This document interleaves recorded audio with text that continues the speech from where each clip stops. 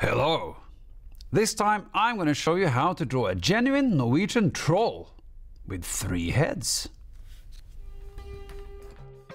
I start with drawing a shape with three heads, one big and two small. On top of each form we draw on two eyes.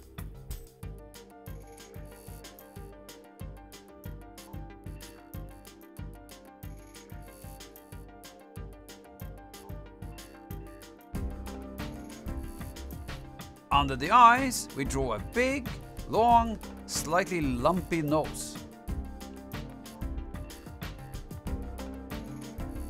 Under the eyes, we can add an eye bag.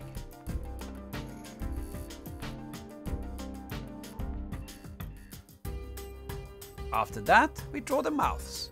They start on one side of the nose, goes underneath and out on the other side.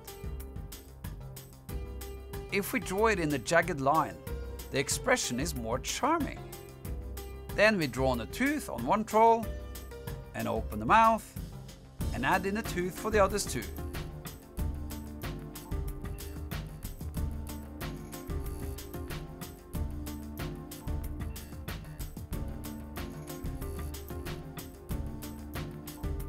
After that comes the ears. They are small and pointy on the top. Maybe a small tongue too.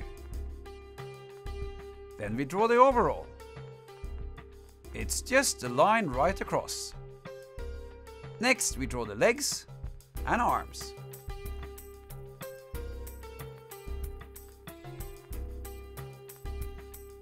One hand is a bit different than the first, because it's holding on to a stick.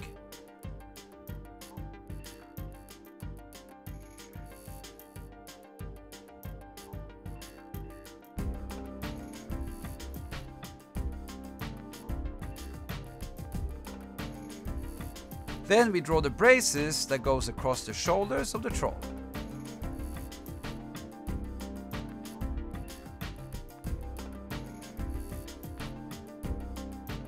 Let's put some patches on the overalls, because then it will look more like a real troll that has lived out in the forest for a long time. And then we can start to draw on the fur, and moss, and other things that grows on the troll. First all the pine trees that grows out of its head. Then lots of fur that grows all over its body. And now we are ready to color it up. Some blue on the overall, and some pink on the nose and ears. We continue with a white pencil and lighten up the top of the ears. Then we add some more red orange onto the nose. Next we color in the details like the tongue, hands, fingernails, patches,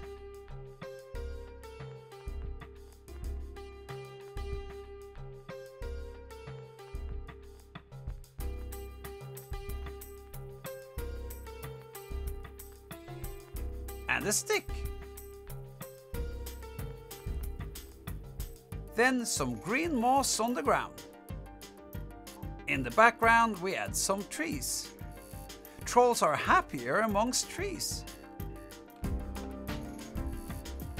Perhaps a bit of detail coloring like blue under the eyes and some troll freckles here and there.